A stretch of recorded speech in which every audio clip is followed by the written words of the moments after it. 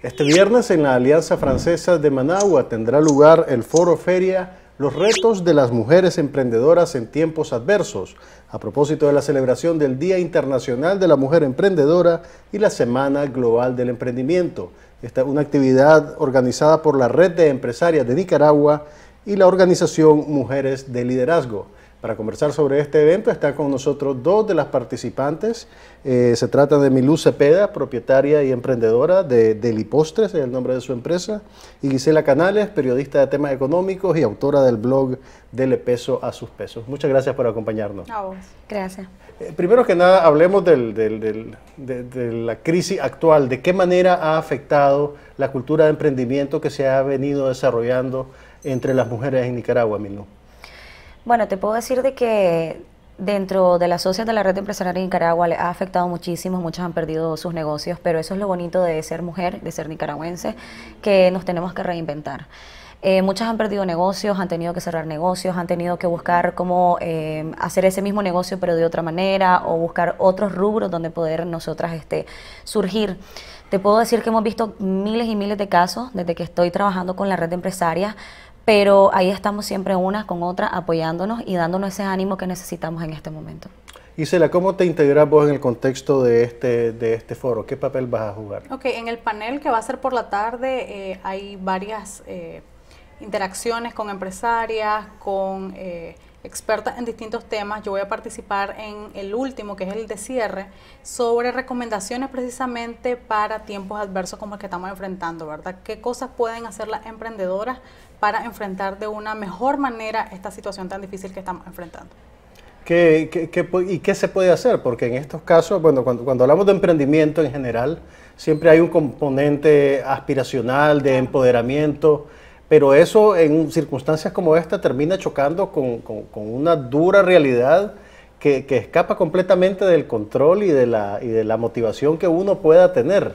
Claro. ¿Cuál es el, el, primer frente de lucha, digamos, la mejor arma que tiene una emprendedora para eh, enfrentarse a una situación como esta? Lo que pasa es que en Nicaragua tenemos como una realidad paralela, ¿verdad? Eh, si bien el emprendimiento en general es todo lo que vos acabas de mencionar, en Nicaragua en la gran mayoría de casos el emprendimiento se da por necesidad, por esa búsqueda de sobrevivir y principalmente en el sector informal donde hay precariedad. Entonces cuando vos ya estás en la informalidad te hace más vulnerable a sufrir los estragos de una crisis económica como la que estamos enfrentando. Entonces cuando me decís ¿Cuál es el primer paso para enfrentar, que es una de las cosas que, en las que generalmente fallan los micronegocios, y es en llevar las cuentas? Algo tan sencillo como saber cuánto entró ese día y cuánto salió, cuánto realmente es el costo de producción o de comercialización de ese producto, como no, no es algo que se vaya dando desde el emprendimiento como planeado, no hay un plan mm. de negocio, no se si lleva la gente ve que entra y sale plata, dice, ok, estoy bien porque hay, hay movimiento. Así es, la mezcla hay con flujo. sus propios gastos personales.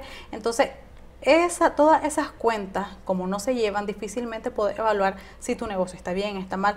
Vos solo vas viendo, hoy no hubo muchas ventas o no me alcanzó para pagarle a los proveedores o les tuve que pedir prórroga. Pero entonces el primer paso es precisamente eso, empezar a llevar tus cuentas de forma más consciente, más clara, con más rigurosidad para que puedas hacer un análisis. Incluso recientemente con la red de empresarios de Nicaragua hicimos un taller sobre eso, sobre cómo hacer tu flujo de caja, cómo de forma sencilla, sin necesidad de hacerlo con grandes softwares o procedimientos financieros avanzados, sino de la forma más sencilla porque al final la mayoría en este país son micronegocios que necesitan ese tipo de asesoría.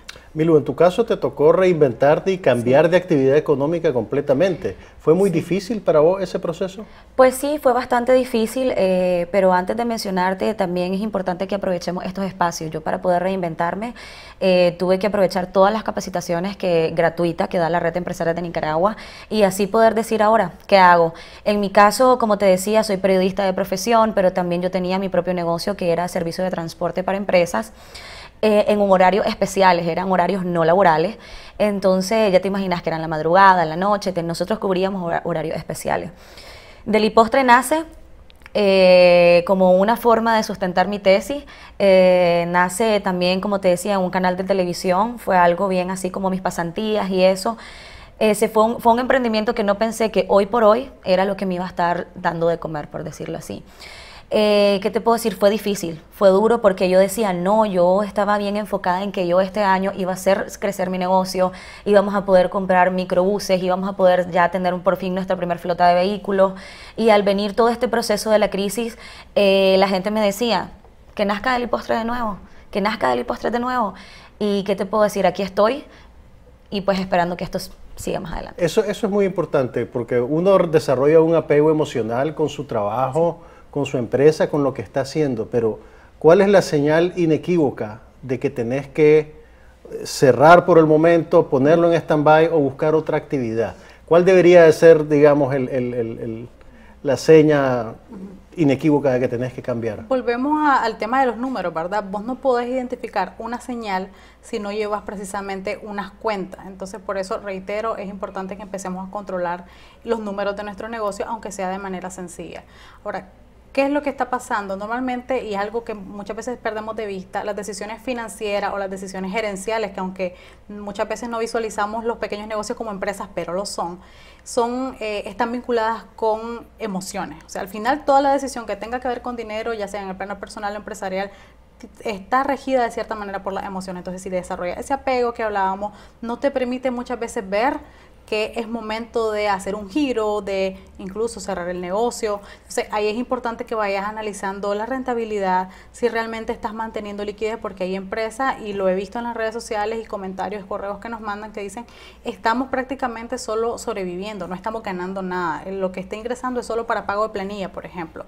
Entonces ahí es donde vos tenés que analizar si realmente lo que estás haciendo ahorita puede mejorarse, hacerse una autoevaluación, que es algo que tampoco hacemos, nos dejamos llevar por el día a día y eso es parte también de otro contra que enfrentan los emprendedores, hombres y mujeres, eh, esos microempresarios, pequeños negocios de uno a cinco trabajadores en su mayoría, que están normalmente sumidos en todas las tareas, no hay una distribución. Todo el mundo hace de todo todo el tiempo. Se dice mucho de los, de los emprendedores son todólogos porque hacen marketing, hacen venta, hacen eh, gerencia, administración, entrega, absolutamente todo, redes sociales. Entonces, empecemos por analizar si realmente cada función que estás eh, ejerciendo te está generando un retorno. O sea, ese pudiera ser como la primera forma de autoevaluarnos y de evaluar nuestro negocio. Empezar a analizar si cada producto, cada servicio que estás enfrentando, cada movimiento que te genera algún tipo de gasto o inversión de tiempo, porque el tiempo también.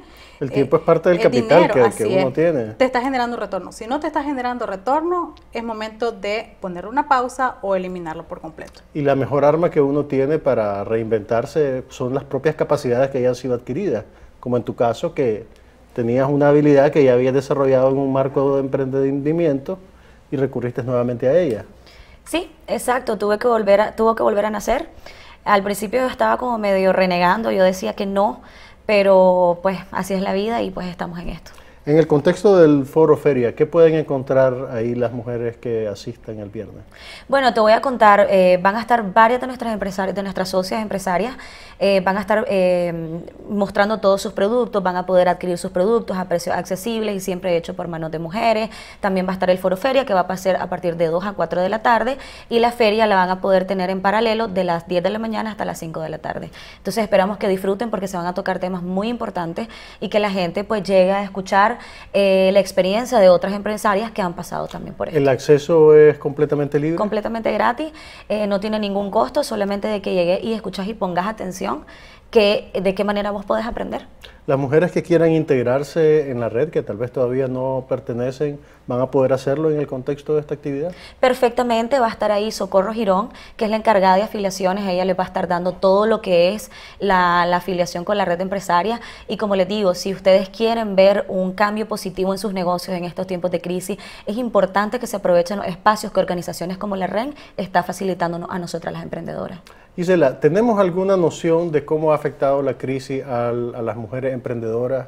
Eh, ¿Tenemos nociones de, cuántos negocios han cerrado, y qué tanto han sufrido con esta situación? Mira, la red de empresarios de Nicaragua ha estado desarrollando una encuesta eh, hubo unos resultados preliminares, pero entiendo que los resultados finales se van a dar a conocer el día del foro. Sin embargo, la gran mayoría de emprendedoras están enfrentando cierres o reducciones drásticas de más del 50% en las ventas. Yo creo que esto en general eh, está afectando a hombres y mujeres emprendedoras, pero como te mencionaba antes de que empezáramos la entrevista, hay varios factores que eh, ponen mayor énfasis de problemas o más baches a las emprendedoras y es la doble, triple carga que tienen eh, las mujeres que tienen negocios, pues realmente... ¿Te referís al trabajo doméstico? Así, o sea, eh, hay estudios incluso que hablan sobre por qué las mujeres no se incorporan al mercado laboral y más del 50% dice que esto es hasta 2014, decían que era por eh, las labores del hogar. Entonces, en el caso de las empresarias, esto no es tan distinto. Tenés carga de cuido de hijos, de cuido del hogar, personas mayores, atender otro tipo de cosas que te restringen el tiempo que vos le dedicas al negocio y al crecimiento del mismo. Entonces, ¿qué pasa? Si vos estás en esta situación, una crisis como la que estamos enfrentando te agarra todavía más vulnerable de lo que puede agarrar a un emprendedor hombre que tal vez sí se dedica 100% a su negocio, ¿me explico? Entonces, realmente las mujeres estamos más vulnerables y ahí es donde yo siempre le hago énfasis en nuestras redes sociales y cada vez que puedo participar en un evento de esto es apoyemos, eh, el apoyo que le puedes dar a las emprendedoras es aliviarle esa carga. O sea, realmente equidad de género se trata de eso, que todos tengamos iguales oportunidades, pero si la mujer tiene mayor carga laboral, ya sea como trabajadora o como empleadora, difícilmente va a poder emprender o empujar su negocio. Y esto tiene una repercusión a nivel de la economía. Quiere decir entonces que los compañeros de vida, los hijos mayores, tienen que asumir parte de el trabajo doméstico que usualmente recae sobre la mujer para que ella pueda estar en un mejor lugar para soportar esta crisis. Y también el Estado obviamente tiene que, que, prever eh, ciertas condiciones, como por ejemplo algo sencillo, ¿verdad? Las mujeres que tienen hijos están todavía más en desventaja que las que no tienen hijos. ¿Por qué? Porque no hay alternativas asequibles para el cuidado de los niños. Entonces, vos ves, por ejemplo, los CDI, que es como lo más eh, rentable económicamente para alguien de bajo ingreso, te los entregan a las 4 de la tarde. Si vos estás trabajando, difícilmente a esa hora podés ir por Tienes que salir del trabajo a las 3, 3 y media para poder llegar Entonces te restringe la capacidad y si optas por una guardería privada, probablemente te cuesta la oferta que hay en Nicaragua, principalmente en Managua, como el 60-70% de lo que cuesta del salario promedio. Entonces, ahí es donde la mujer dice, ¿para qué voy a ir a trabajar? Si voy a, se me va a ir todo, por ejemplo, en el pago de la guardería, entonces mejor me quedo en la casa. Y eso va en detrimento de la calidad de nuestra economía, porque es que obligas a la mujer a que o emprenda de, de manera informal y no aporte impuestos al Estado, que esto nos permite aumentar el gasto público, por ejemplo.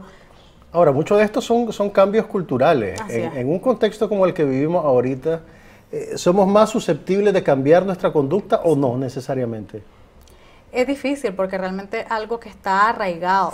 Pero veamos ejemplos de países como Suecia. O sea, Suecia, en Suecia el Estado fue el que lideró una iniciativa de brindar a las mujeres centros especializados de atención o cuidado infantil para que ellas definitivamente puedan desligarse de esa preocupación y puedan desarrollarse en el plano laboral.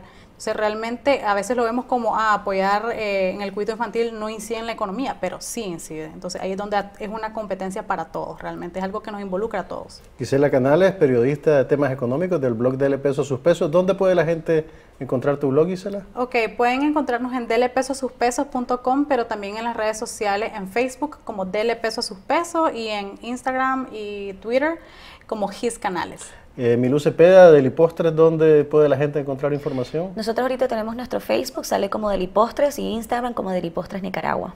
Y por supuesto van a estar también el viernes en el Foro Feria. así es. La invitamos porque es importante que entre todas nos apoyemos y aprendamos mutuamente. ya saben entonces, el viernes en la Alianza Francesa a partir de las 10 de la mañana. A partir de las 10 de la mañana la feria.